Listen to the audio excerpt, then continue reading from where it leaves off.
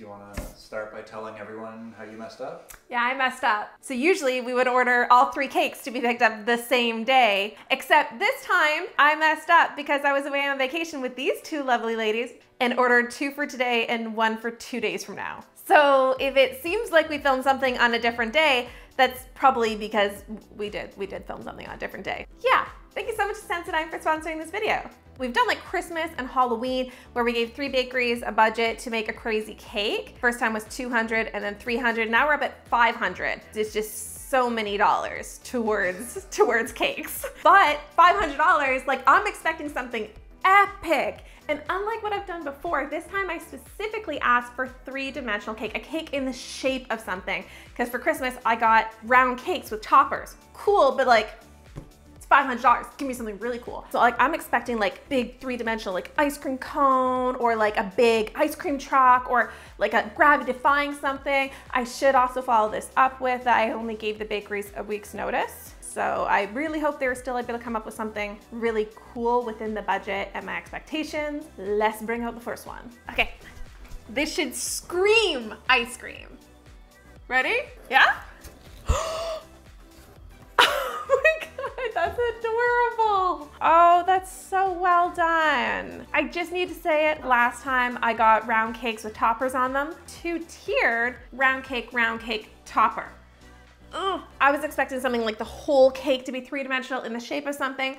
With that being said, it's extremely well done. The details are really beautiful. Look at this gold ribbon that's around the cake board. They have some of the sprinkles painted gold and some of the sprinkles here painted gold and then the cherry stems painted gold and then some gold leaf up here and it really just helps tie all of the colors in together and I love that it's not just like one cone melted that they've got these two cones. And this one, this would be structurally hard to place, I would think. I've done like a melted ice cream cone cake years ago, but I used a real ice cream cone because I was like, why am I gonna make one? They made one out of fondant, but then they dusted it. If you look at the edges there, like look at how they've dusted more onto the edge of like the waffle cone.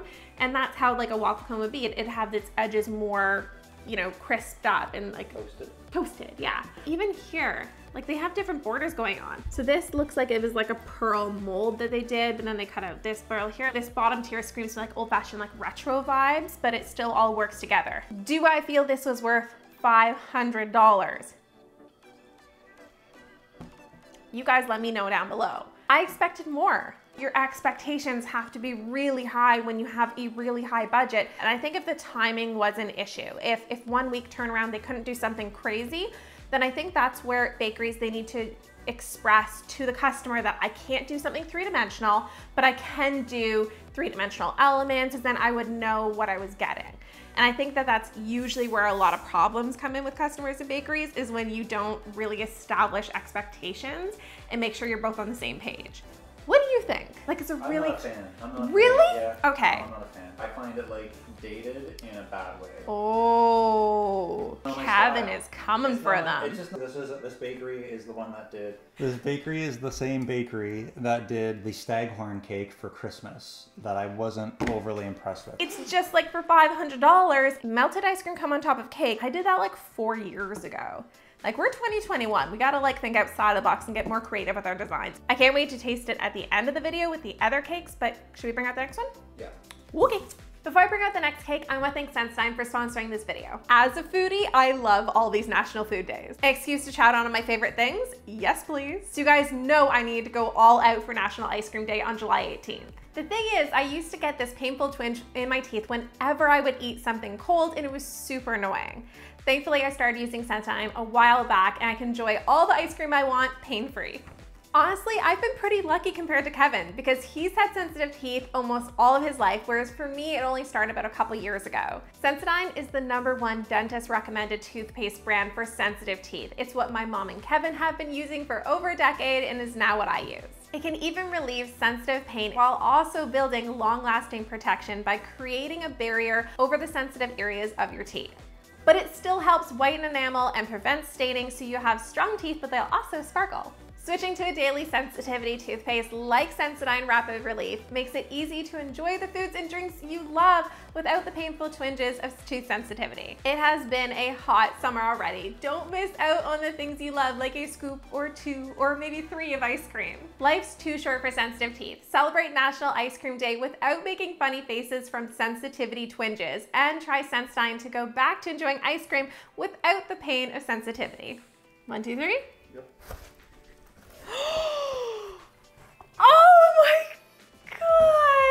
This is what I was talking about. Something that just blows me away. The spoon, Kevin, the spoon. Look at how realistic that looks with all this like texture and grooves and shape. It's got this little whipped cream with a little strawberry.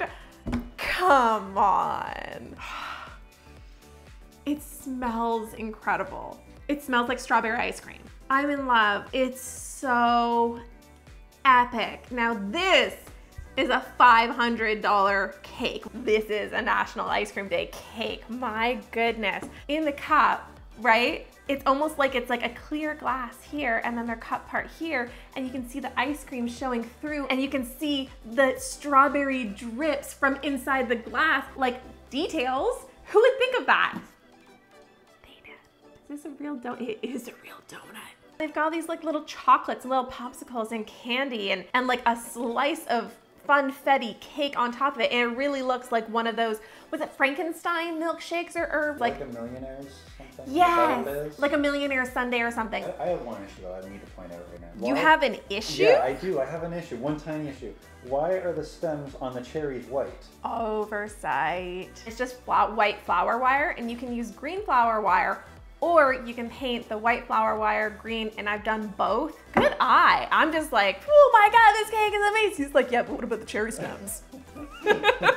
it's so big but well designed. Look at this like retro kitchen floor cake board, the details with the spoon. Then you have this whole cup and this three-dimensional like handle on the cup.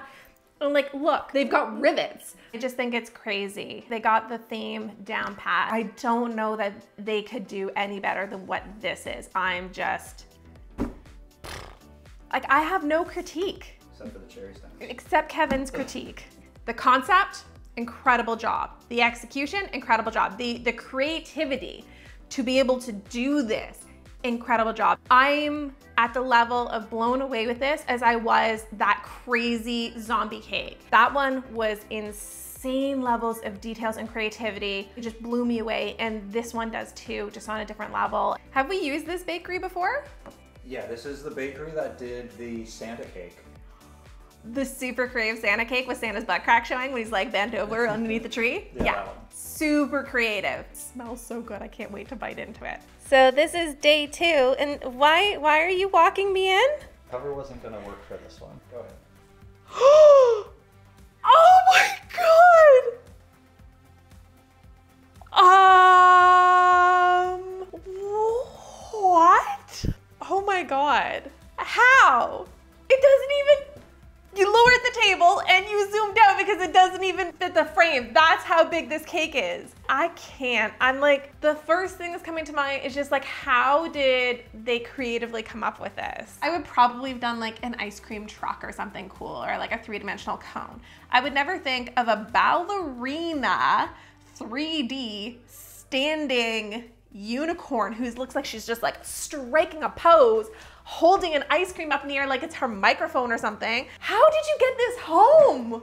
Like so stressfully, every little bump I hit, the whole thing would shake. I'm blown away. Just like full blown happiness, excitement. Like this just makes me so happy. I really wanted people to go crazy, so I'm like $500. But this does not seem like a $500 cake to me. I, I wouldn't even know how to price it. Like I couldn't I think they went above and beyond because I can't imagine how many hours of time and work went into this and how did they get it standing up? Like that's very straight. Nothing is leaning. Nothing looks like it's about to fall over or fall apart, which, you know, a lot of cakes have. And I'm just gonna take now, this second, to say one of the cakes from yesterday fell over last night. I came in after like a couple hours of shooting and it was falling over on the table. And the thing is, is the cake wasn't perfectly level. It was leaning a little bit to the side. The cake board was too small for the cake that was on top. You could see the dowels, which is like the straws, the supports, two were higher than the other. So no wonder it tilted off to the side when it's already tilted and there was no dowels holding the top tier to the bottom tier, keeping it from falling. I'm curious to see if this one would just stand up over days of time, if it would just continue standing up all majestic like like this. And you drove with this. Yeah, it survived somehow. Some with like bumps and nobody holding it. Let's go into the details because I've just been like, whoa. They even covered the cake board in this like retro print of like ice cream goodies. Like what a fine little detail. I think they looked at the budget and were like, what more can we do? What more can we do? I, I love everything. I love the color concept. I mean, you've got pink and white and blue into like the ice cream scoops that are over here that's trickled up into the fondant and trickled up into the drip but then that's coming through in, in, the unicorn's like mane and the scoops up here. Like you really have the colors coming through everything that just ties it well together. The shape of this unicorn like look how this one leg is straight, the other leg is just beautifully like delicate, kind of like bent around her, and you've got one hoof kind of up and the other one off to the side, and you've got her head kind of twisted and tilted. Like to sculpt something like that, like that's art. I could not sculpt and shape something like this. This is just outstanding and incredible. Oh, the unicorn um, horn is an ice cream cone. You can see an impression line where a waffle cone has that line. To come up with like, I'm gonna do unicorn with an ice cream cone horn, it's incredible. There are a few hate doing this, it's so stunning. But there are a few details that I will point out that look a little messy. If you look under her eye, where she glued on the black fondant, it looks like she got some black schmutz there. And then on her legs here, I can just see some like, it almost looks like dirt marks, but it's not. I think it's like chocolate marks. The huff up here, you can see how it's like really spotty looking with the gold. Here's solid, and then you turn it, and then here's a little bit spotty looking. You can see some lines here. Those are only like little details that you would only, have to like search for them. I think the only reason why I'm seeing them is because I am a cake decorator. What do you think? I think it's insane. It has to be mentioned that creating a, a, sculpture like this out of edible material is completely different than creating something with plasticine or clay because you have a time constraint that you need the cake to still be fresh tasting and not get moldy or melt or anything like that. So yeah. Like that time constraint. The time be... constraint is so hard. Let's bring out the other two and then I want to cut this one and taste it. So present me has only seen these two cakes, but Comparing these two side by side, I can't believe the difference. Given the same budget, the same concept, and just go creative with it, like $500. Really cute, but wow. What's the flavor of this one? Lemon raspberry, I think. Ooh, oh, that looks good. Look at that perfect little slice with like the filling to cake ratio. Mm. Very sweet. Um, the raspberry flavor is really nice, but it's so sweet, really hard to even find the raspberry. You can tell they, they use fresh raspberry. I, I have like the seeds of it. The lemon's a little, a little dry. Not bad, but it's just a little dry and dense. But the flavor of the lemon cake is really nice. I just find the icing, it's just, just too sweet. But the flavors like together, I think work well. Okay, let's cut the one that smells incredible. I don't even know how to cut this. Oh, oh, you sneaky little smart devils. I was trying to cut down this little scoop and that's not cake. It's a ball of fondant covered in like chocolate ice cream or icing to like keep it structured so that way it's not like just a big blob of like icing that like melts or whatever it's and it keeps its shape. So yeah, this one's marble cake with strawberry milkshake filling. Oh, it smells so good.